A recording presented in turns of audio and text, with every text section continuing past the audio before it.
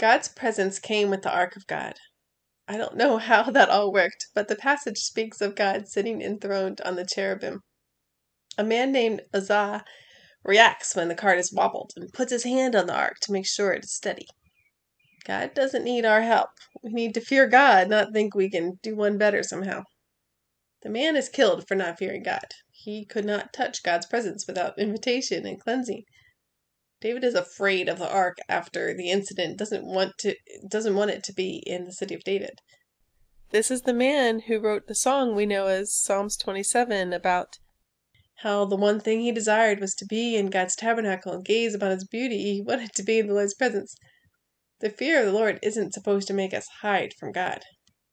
Well, I have taught that we start with the fear of the Lord and obey out of fear of a holy God, and then move into loving God and obeying out of love and joy.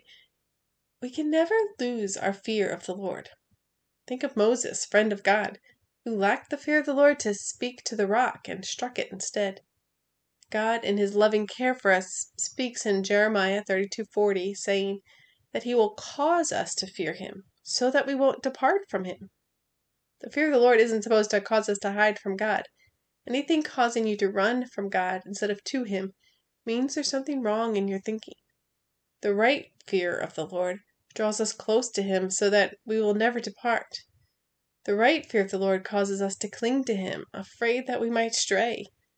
The right fear of the Lord causes us to keep our eyes on Him because we know He's the only good we know. The right fear of the Lord causes us to rely on Him for everything because we know we need Him for everything, from our ministry to our next breath. The ark was left with the family who received the blessing of God's presence and was blessed because they received His presence. Psalm 16 tells us that in his presence is fullness of joy and pleasures forevermore. That's what we should want. Run into his presence. Never hide from the blessing of his presence.